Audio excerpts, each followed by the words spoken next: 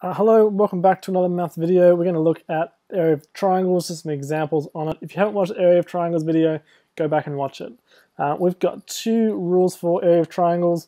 Our right angled rule says A is a half base times height. It's not B as in the side length B, it's B for base. And our second rule says that A is a half AB sine C. That's our new rule um, for non-right angled triangles. A bit more um, interesting, a bit more usable in some real world uh, examples, obviously. So, examples. Let's start off nice and easy. I will just, actually, before we get into it, this rule here will come back secretly, sneak its way in. So just because you got this new fancy rule that works, it's really diverse, um, don't negate this one, don't forget this one. So when you see right angles, half BH, think about it see if it is relevant for you. Kicking off example number uno, example number one. So let's say I've got an angle of 100 degrees here. Let's say I've got side lengths of 3 and side lengths of 5. Um, I'm asked to find the area, so going for area, triangle, area of a triangle formula, it's one of these two.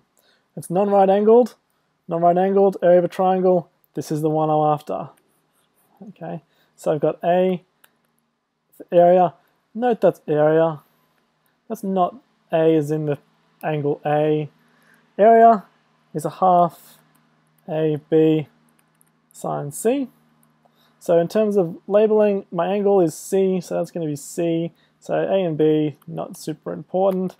A and B, A there, B there. Substituting in, A is half by A is 3, by 5, by sine 100. Okay, putting that straight into the calculator. Just going to put mine in, times sine 100. That gets me 7.38 units squared.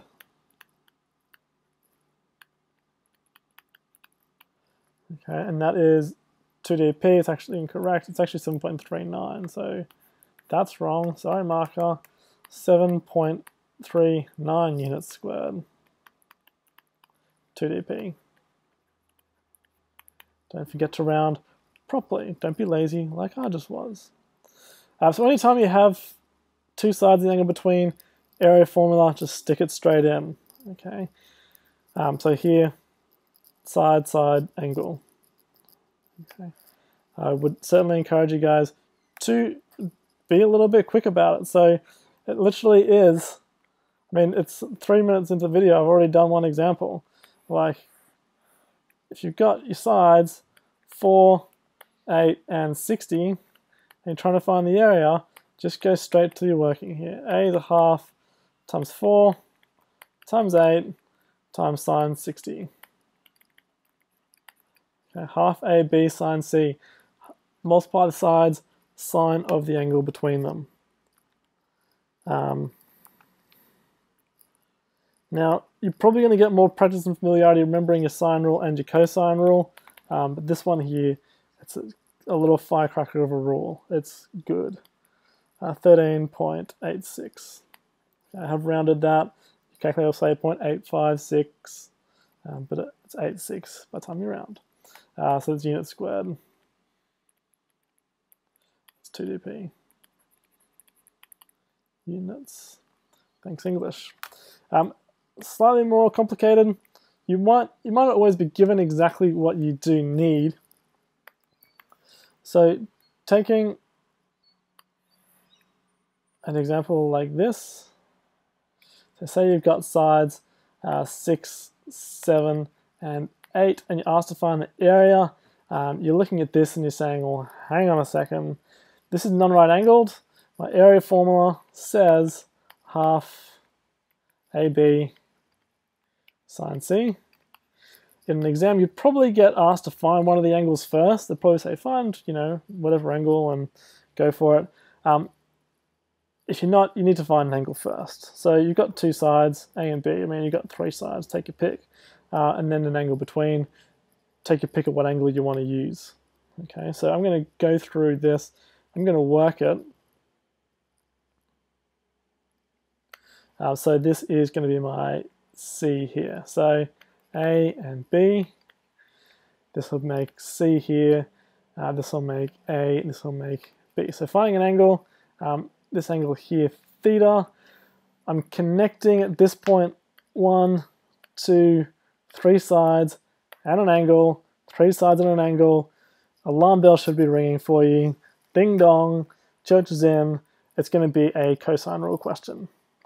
Okay, so cosine rule, we're going to say cos c equals a squared plus b squared minus c squared on 2ab.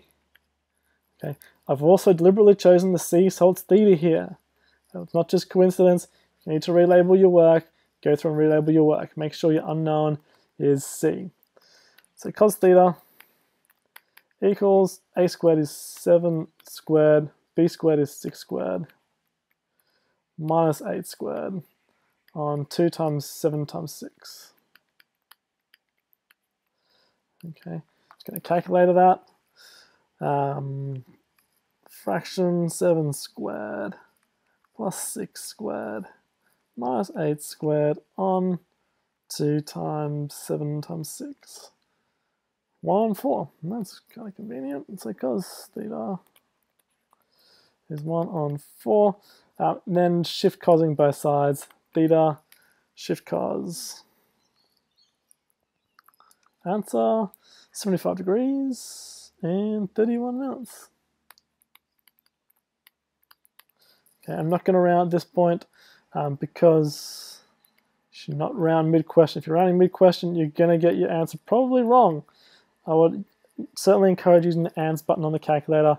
If you're not familiar with it, it will just give you your last answer.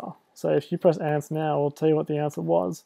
Again, so press ANS and press enter. Look, it's the same thing. 75.522.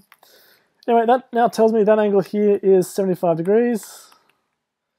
20, 31 minutes, sorry, and 20.96 there. So I've now got myself in a situation where I've got a side I've got a side, I've got the angle between, two sides the angle between, I'm good to go for my area formula. A is half by um, 7 by 6, 6 by 7, by sine that angle, so 75 degrees, 31 minutes, 20.96 seconds. Okay, so Again, our area formula, multiply the two sides by sine angle between. Half AB sine C, AB sine C. Half AB sine C, our good friend. Make sure you sign, don't shift sign the answer there. Put into your calculator. Um, so half times 6 times 7 times sine of that angle. I got 20.33. Hope I'm right. If I'm not right, let me know. Uh, 20.3 3 and it's units squared. It's a bit more work on that one there.